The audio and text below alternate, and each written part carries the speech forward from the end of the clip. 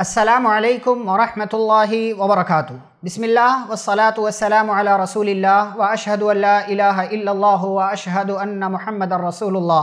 اما بعد۔ معزز ناظرین، ایک سوال ہے اور سوال یہ ہے کہ اکیلے جب ہم نماز پڑھیں تو جہری نمازیں کیا ہمیں جہری ہی پڑھنی ہوں گی یا ہم اس کو سری بھی پڑھ سکتے ہیں؟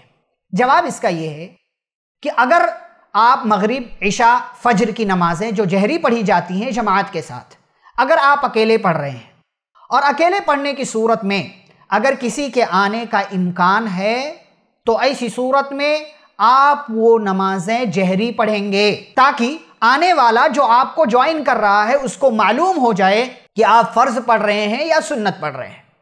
لیکن اگر کسی کے آنے کا امکان نہیں ہے آپ کسی صحرا میں، جنگل میں یا راستے میں اکیلے ہیں اور اکیلے نماز آپ پڑھ رہے ہیں، کسی کے آنے کا امکان نہیں ہے۔ تو اسی صورت میں آپ کے لیے یہ گنجائش موجود ہے کہ آپ جہری نمازیں یعنی مغرب، عشاء اور فجر یہ آپ سری بھی پڑھ سکتے ہیں۔ شریعت آپ کو اس کی اجازت دیتی ہے اور علماء کرام کے اس سلسلے میں فتاوے بھی موجود ہیں۔ اللہ رب العزت ہمیں قرآن و حدیث کی تعلیمات پر عمل کرنے کی توفیق دے۔ آمین۔ وصلی اللہ علیہ نبی الکریم۔ والسلام علیکم ورحمۃ اللہ وبرکاتہ۔